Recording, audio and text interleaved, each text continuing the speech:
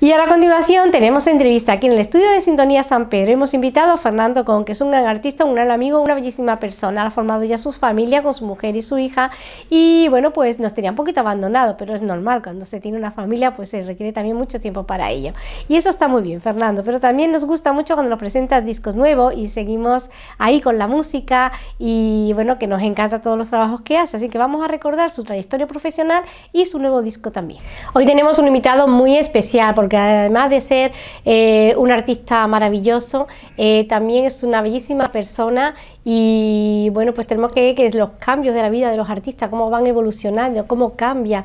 Y por eso venimos, porque aquí hay que informar de esos cambios, como los pintores, pues eh, los artistas también componen, se hacen a sí mismos según van evolucionando. Y bueno, hacía mucho tiempo que no venía, que nos teníamos abandonados desde que se casó, que tiene una niña preciosa y una mujer estupenda. Pues teníamos muchas ganas de hablar con Fernando. Con, ¿Qué tal? Bienvenido al estudio, Fernando. Que nos teníamos abandonado, Fernando. ¿Qué, ¿Qué, has hecho, Fernando? ¿Qué has hecho todo este tiempo que no ha tenido abandonado? Las cositas de la vida, pues fuera de aquí. Hay que enfocarse a otro sitio, evolucionar, ¿no? Sentarse también a reflexionar, a escribir, a tener ideas, ¿no? Porque eso, si no se tiene tiempo para hacerlo, no se puede tampoco hacer. Sí, hombre, la verdad que eso, la verdad que la vida va dando sus procesos, va dando sus cambios. Uno ya cuando tiene su pareja, tiene su niña, tiene sus cosas, pues ya la vida va cambiando sus formas y bueno, tienes que ir para allá, para acá, hasta buscar un, un sitio donde mordarte y bueno, pues a mí ya me ha tocado eso. Que bien, bueno, tienes una niña preciosa, tengo que decirte, y tu mujer que es encantadora. Y ya mismo a lo mejor te veo un dúo cantando con tu hija los dos. ¿Eh? va, a ser, va a ser complicado. Que los niños crecen, crecen que no, no te das cuenta, vamos, con la, cuando la he visto, que era tan chiquitita y tal, y bueno, bueno, la niña que, que tira un cadao. Digo, ya mismo está con el padre cantando los dos. ¿Te acuerdas cuando Enrique y Ana, no? Que cantaban sí, con no, las tablas de multiplicar y eso, sí. Ya, te, ya te veo ya mismo con ella haciendo un dúo, ¿eh? la pieza es enfocada de transmitirle lo que tú sabes relacionado con la música, Fernando. Le gusta, le gusta. Le gusta escuchar música, ya es muy bailarina, eso sí, pero de momento. Lleva, ¿no? Tiene lleva, la sangre Lleva los genes, ¿no? Gracioso. Pues vamos a hacer, si te parece, Fernando, una recopilación eh, de quién es Fernando, con cómo fue tu, empezaste tu trayectoria y también hablaremos de tu disco y de tus proyectos también uh -huh. a corto plazo. Eh, bueno, pues ella los que te conocen te conocen, que eres un vocalista y eres un gran artista en el escenario, te vemos dándolo todo, uh -huh. que te hemos visto que no, no paras, no tienes, eh, ¿sabes? Tu artista, bueno, vamos a hacer un paro, no, tú del tirón, ¿no? Sí, que no, te a mí me hemos visto las actuando. cosas bien, las cosas que, que no decaiga, como suele decir, un ritmito y, y, que la gente disfrute de, de lo que uno hace. Pues cuéntame esa trayectoria un poquito para los que se incorporan nuevo. Que no, yo creo que te conoce todo el mundo, pero bueno, siempre habrá alguien que diga, ah, pues yo como he estado tanto tiempo ya también ya que no te hemos visto, pues para recordar un poquito cómo formaste el grupo Asahara, cómo fueron esos comienzos y pues, cómo sucedió lo demás. Esos comienzos fueron pues los inicios con, con Juan, con el antiguo compañero y demás, con esa canción tan tan conocida como, como fue Luna Blanca, que la verdad que pegó esa, Temazo, ese, ¿eh? ese bombazo, vamos, que que bueno, todavía no, no se llega a, a asimilar. Que y además con lo pedían en todos sitios, en todas las ferias, en, to, en, todos los sitios pedía la canción sí, esta no, de... Es, es, una canción que, bueno, tiene bastante ritmo, es un, como, como, suele pasar también con las canciones de, de este tipo de, de, música, de este género musical, como es Necesito Respirar, vas a una feria normalmente pues te la piden. Luna Blanca, pues cuando me han visto a mí, pues es normal que, que te pidan una canción que la verdad que, que ha sonado tanto. Y después, pues nada, de Luna Blanca siguieron los, los caminos Rosa María, de Camarón, de Muera el Amor, de, de Rosy Jurado. A ver, hay unas canciones que la verdad que bastante, bastante bien, se aceptaron con, con bastante buena percepción por parte de la gente. Y bueno, pues ese proceso termina, ese proceso se acaba, todo, como se suele decir, todo lo que tiene principio tiene fin, ¿vale? Y bueno, pues salió la canción esta que compuse yo personalmente y esa ya pues... ¿Cuál es? Bueno, hablarnos de ella, porque también nos gusta mucho. Bueno, tengo que decir que tú tienes siempre un estilo como Alameda, ¿no? Y sí, por eso siempre me ha gustado ese estilo de Alameda, me, me, gusta muchísimo Triana. Son canciones y son grupos que, que siempre quedan para el recuerdo, ¿vale? Son, están todavía, bueno, Triana, Alameda, Alameda lo está escuchando últimamente también, están ahora de concierto, Medina Sahara, que ahora también van a hacer un tributo al en Sevilla, la verdad que Triana con esa conjunción nueva que, bueno, Jesús de la Rosa siempre será Jesús de la Rosa. Y bueno, pues yo siempre me, me decanto mucho a, ese estilo, al flamenco, pero me gusta mucho esos sonidos de guitarra eléctrica, esos puntos de guitarra eléctrica siempre están ahí. un, estilo musical que esa guitarra, la que me encanta. Es único, bueno, yo creo que es para inspirarse, ¿no? Los artistas en ello. Y bueno, pues este nuevo disco, cuéntame cómo se llama y y cómo, en qué estás inspirado pues para hacer los arreglos y, hablando de tu trabajo, que es que nos encanta saber. canción, la verdad que sí que está, está causando bastante sensación lo que es eh, fuera de España. Bastante buena sensación de lo que, vamos, están todas las emisoras en Brasil, Uruguay, Perú, toda la zona de Latinoamérica están encantados, están intentando de, buscar a alguien para, para que me pueda hacer cruzar el charco y demás. Pero bueno, su Grupo Azara está todavía en formación, todavía mm, necesito un, tiempo.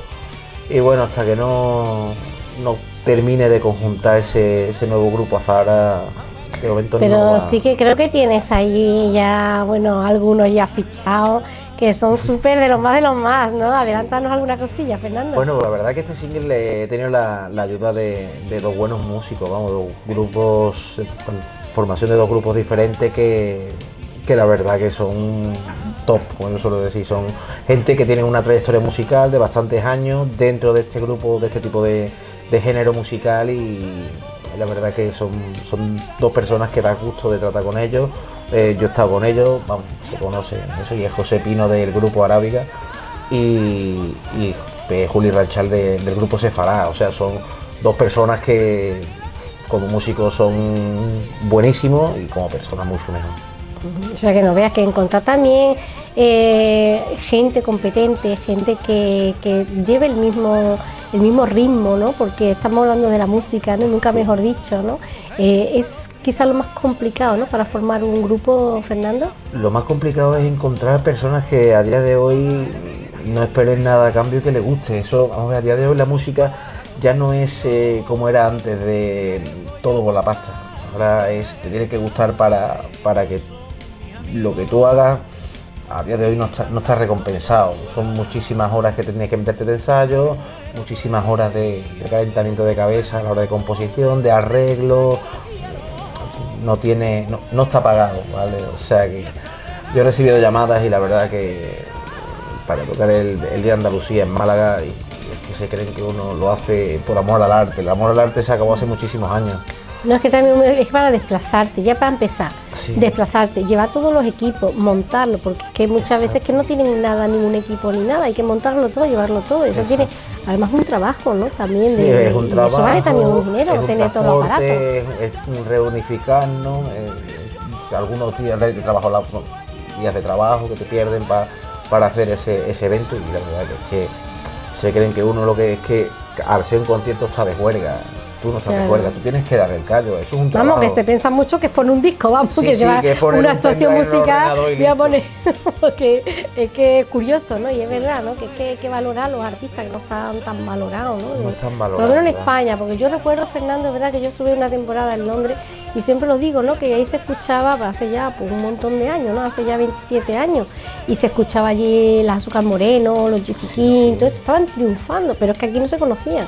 Es que yo me, fui, a, me fui a Londres y no se conocía, yo no había escuchado nunca hablar de ellos y sin embargo allí en todos los parques se pusieron de moda de, tapas y tal, se escuchaba mumu y ahora que tú me dices que está en el extranjero y tal, digo pues ahí claro, ahí es donde puedes triunfar. Es, es el tema de lo mismo que eso, lo que estamos hablando. Mónica Naranjo por ejemplo aquí no era no, no lo conocía nadie. Y se vino de allí siendo una estrella, o sea que la gente primero parece que, que en España no se valora lo que uno hace, pero fuera te valoran una vez que estás valorado fuera, te valoran dentro. Mm, es una forma de que, yo no lo sé, vamos, no sé el, problema cuál es, pero en España tiene un problema con eso. Sí, pues quizás pues eh, somos más tranquilos ¿no? a la hora de cómo los tenemos y decimos, mira, tenemos tantos artistas y todos tan buenos y tal, que no, no es como el aceite en España que me habla mucho que no sé, no sabemos no darle el marketing ¿no? o, o venderlo, ¿no? Y puede que sea uno de los factores, falta ¿no? dar un poquito de, vamos, yo te digo, gracias, a Dios, por ejemplo, lo que es lo que yo digo, las emisoras locales, televisiones locales, te, siempre te, quiera o no quiera te ayudan. Ahora, estamos con el mismo problema de eh, emisoras grandes. Eh, yo, gracias a Dios, he podido meter mano un poquito en alguna de ellas, pero Canal Sur, Radio, 40 mm, principales, Europa FM, que tú tengas que coger y tengas que pagar X para que te pongan una canción. Mm, si es una radio pública, es una radio pública, te tienen que apoyar, no, no decirte, no, es que esto vale tanto. Vamos a ver, por favor.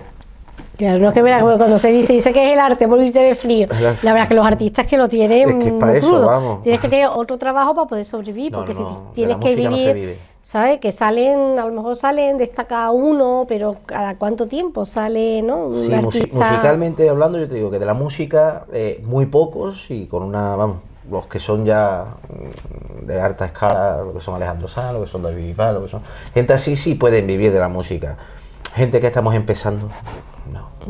No, porque primero no tiene un apoyo, pero segundo no, no pagan lo que realmente vale hacer una cosa como, como un concierto y bueno. ¿Qué opina de los concursos, Fernando? Que de los concursos para sacar famosos y eso, ¿qué opina de estos ¿Qué, concursos? ¿Qué opino? Te soy sincero. Claro, aquí hay que ser sincero. Puro enchufismo puro enchufismo. Yo mm, se llama copla, tú sí que vale. Yo todo eso lo veo como es un, puro enchufismo porque ya de antemano no es no te valoran por cómo lo haces, es por cómo te cae esa persona o cómo es esa persona. También, ¿no? es eh, el este chaval canta bien, no, este chaval no, este chaval no me gusta ahí no hay otras cosas. Ahí no hay otra, eso, yo, por ejemplo, no es que esté en contra de ningún programa, pero vamos, yo... No sé, es que es difícil, porque muchas veces lo pensaba, digo, porque mm, escuchas a lo mejor los castings, voces tan bonitas y tal, digo, ¿por qué eligen a este y a este no? Porque yo pienso que la voz de, que han tenido algunos que no han elegido ha sido a lo mejor, mm, me ha gustado más incluso. Sí, es que si nos ponemos a pensar, mira, eh, eh, pongamos el caso de Pablo Alborán, Pablo Alborán no se ha podido hacer famoso a través de escuchar la música, ha sido un vídeo que colgó en YouTube. Es que. Claro, eso también, ¿las redes sociales os ayudan o, no? Sí, hombre, las redes sociales, quiera o no quiera, todo lo que es eh, a la hora de promocionar, la gente te escucha por una radio, te escucha por otro, te ve en una tele, te, te agrega por un lado, ve lo que tú eres, ¿vale? Te va conociendo por tus escritos, por tu música, por, por todas esas cosas. Y bueno, pues hay gente que sí que reconoce que, que tú lo haces bien y también quiera o no quiera te ayuda a la hora de distribuirte todo lo que es el material musical y a la hora de lo que son las contrataciones también. Claro, es que esto hay que moverse y hacer mucho más videoclip, que se hagan mucho los artistas, casi todo a componer una canción y los videoclips yo creo que también le dan mucha movilidad también a la música, ¿no? El videoclip da mucha movilidad, pero sacar un videoclip no es tampoco un regalito del señor, eso, eso vale un dinero, ¿eh? sí, sí, todo, lo que mueva, todo lo que mueva es dinero. Alto. Es todo a través de eso y bueno, yo siempre lo he dicho, yo soy una persona que mm, yo me lo hago todo y yo me lo gano todo, yo me promociono, yo me grabo, yo voy a buscar eso, yo voy a pagar, yo soy el que, el que va moviéndome con, con mis cosas no es fácil, no es nada fácil cuando intentas salir y, es que no, no, se tiene ayuda de nada.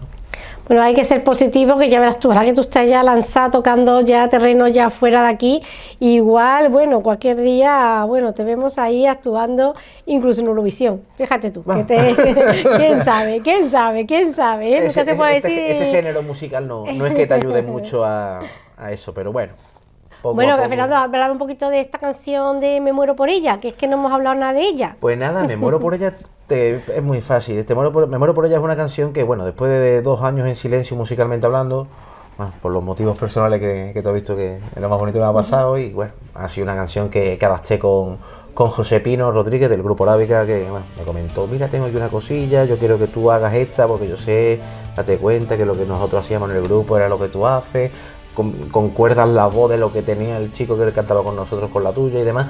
Se, vamos a dar un pasito adelante. Digo, venga, vamos. Ya después de dos años, pues eh, ella tenía ganas también de, ponerme en lo alto de, unos cascos y ponerme en un estudio, encerrarme y hacer algo. Y bueno, pues ya una vez que te pica el gusanillo, pues siempre como suele pasar, haces una, quieres otra y quieres otra. Y todo esto pues va poco a poco. Que sí tengo una idea para, la próxima, pues sí, tengo una idea ahí bastante buena. Lleva mucho tiempo con, una letra que le compuse a mi hija para, sacarla y bueno, pues lo que pasa es que eso tiene un trabajo bastante más, más complicado que hace, por ejemplo, la canción que, se ha hecho de Me muero por ella, que es de Bordón 4, los años 80, como siempre se ha querido hacer. Y yo sigo las mismas formas que, en su momento con, Grupo Azara y, va a seguir siendo eso, va a ser un sonido rock andaluz, rock flamenco, pero siempre con, esa dulzura y esa esa forma de cantar que lo que quiero es transmitir, que tengo que estar en un momento que, pueda yo transmitir a la gente lo, que estoy cantando. Y eso quiero o no quiero también. un estado de ánimo que, bueno, tienes que ir. Y bueno, y podríamos hacer como un estribillo, algo que me muero por ella, un poquito del estribillo, alguna cosita que podamos escuchar ya para que nuestros tres espectadores eh, nos escuchen algo. Yo sé que tú eres un valiente, por eso yo te meto en estos compromisos. ¿eh? Sería me muero por ella, pero no sé cómo decirle que la quiero. Me muero por ella y hasta del aire que respira tengo cero. Madre mía, qué bozarrón que tiene. Tú vas a ser como esto, como la quimera que dice que cantaba y flotaban los brazos, los vasos. Aquí teníamos uno y yo estaba diciendo, verás tú que le va a pasar como a quimera, que flotaban los vasos con ese bozarrón, este tono debo, pero mira, soy tu niña que está acostumbrada, que ni se ha despertado siquiera. si está acostumbrada a, escuchar a su padre de, cantar, que, imagino que tiene la casa animada todos los días, ¿no? Sí, la verdad que, vamos, como le pongas cualquier canción de las canciones de siempre, eh, le coge, coge el móvil, se cojones y se pone a bailar, se contonea, mueve la cinturita, brazos arriba a bailar. Y papá, y papá, papá en el móvil. papá en el móvil. bueno, que tu, tu primera fan, vamos, y bueno, bueno, es incondicional además, ¿no? La fan incondicional. La primera empezó siendo mi señora. Y ahora ya tengo la niña. ya seguidores, no tengo, tengo mis seguidores. Qué bien, Fena, de verdad que me ha alegrado mucho estar aquí. Espero que en los próximos proyectos vengas a presentármelo y ya no tardes tanto en venir a vernos. ¿eh? que, no puede ser, ¿eh? que no puede con ser. El coche, problemas con el transporte. bueno, pero ya sí, ya yo creo que cuando ya saques todo tu proyecto, que vengas a contármelo y bueno, decir a la gente que te pueden seguir por internet, ¿no? Poder por decir con, la, con Fernando, con, Fernando a través de Facebook. Todo es muy fácil porque ahí pinchamos y ya te vemos y te escuchamos, que te damos preciosa. Y todas las cosas, todos los temas de entrevistas, ahí, ahí aparece todo. bueno, esperemos que te contraten ya para las próximas ferias que haya, tanto en Marbella, bueno, ahora viene primero la de abril, eh, la de Sevilla después de la Semana Santa, a ver si en internet te ven por ahí y dicen, aquí esta que viene aquí a cantar nuestro tablado. La verdad es que está teniendo una suerte con la, a la hora de, la promoción que está saliendo en bastantes radios, no como yo te he dicho, no a nivel grande, pero vamos, siempre tiene ¿Alguno ese recordillo que está por ahí. Bueno, Fernando, muchísimas gracias, por venir y de verdad que sabes que te apreciamos muchísimo que ya tienes una familia y que bueno nos encanta veros siempre. Y está más en San Pedro que está ahí en San Pedro Alcántara no está ahí bueno estaba y ya no sé yo ya la trayectoria ya no ya me dice que no. pero está aquí muy cerquita. estamos, allí en la serranía. Hay que hacer cambios preciosos a la serranía que estuvimos allí con unas actuaciones y no se nos olvidaba nunca porque lo pasamos genial. Cuando tu mujer estaba ahí también de consejera de, de, fiesta que organizaste una buena fiesta y que no teníamos que nos quedamos dormidos porque como la fiesta está larga hasta por la mañana. Se alarga. Eso, la feria de los pueblecitos por ahí, eso siempre se prolongan. Eso, a las 7 a las 8 de la mañana nunca te la quitan. Es que la comarca de la comarca de, Ronda es muy grande, son muchos pueblos que las compone, a cual más bonito y que, que visitar. Así que a visitar, o sea que me encanta toda la serranía. Muchas gracias, eh, muchos éxitos. Y vamos a escuchar, nos quedamos escuchando que nos ha puesto aquí nuestro realizador, eh, José, nos ha puesto aquí un trozo, puesto una canción que vamos a escuchar, eh, que preciosa. Enhorabuena. Muchas gracias.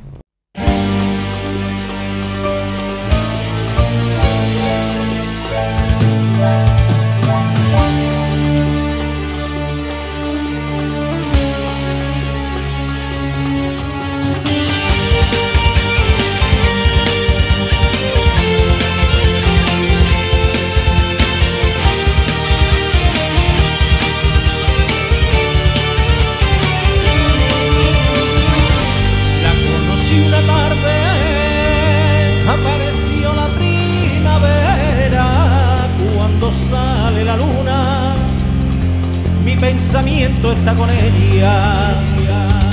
La niña de mis sueños, ella la niña de mi día. Quisieras en la sombra que le acompaña noche y